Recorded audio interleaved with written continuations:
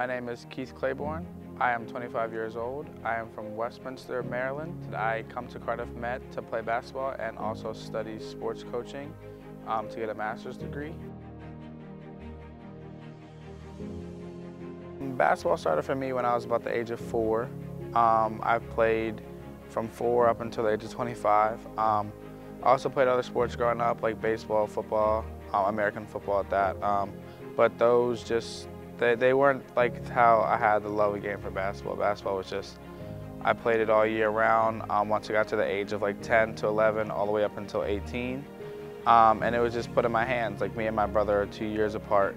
So it was kind of easy to have like that person to go play basketball with, go to the playground and, and things like that. Um, growing up, I had a playground in the back of my house, so that had a basketball hoop, so that made it kind of easy to fall in love with and just stick with the game of basketball. And it's taken me a lot of places. I've met a lot of people, and I'm grateful for that. It's like I said, it's just I fell in love with it for the longest time, um, and I, I don't think I would be here today if I played any other sport.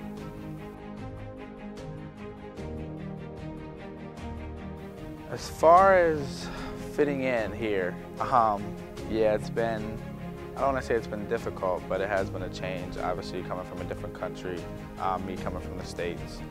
Um, but just as far as basketball goes, it's me trying to bring what I've learned in the years that I've played and just bring that here, bring that winning culture here. Um, and that's, since that's what I'm accustomed to, um, just bring that here to Cardiff Met. And I feel like I've been able to do that. I feel like I've helped the, my teammates, whether it be on the NBL Division two team or the BUCS one team, and just help them uh, bring what I can.